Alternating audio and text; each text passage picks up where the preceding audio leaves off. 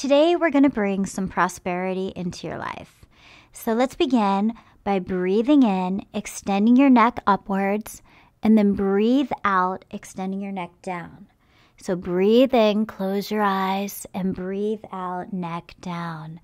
Good. Now I want you to relax your head, relax your back, relax your body, relax your legs. Great.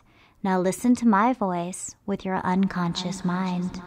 Imagine money flowing to you, lots of money, swimming in a sea of money. Money flows like rivers. Prosper others, prosper yourself. You are about to come into money.